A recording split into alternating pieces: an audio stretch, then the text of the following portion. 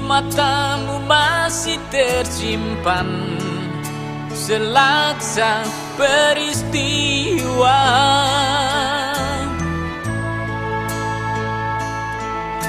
Benturan dan hempasan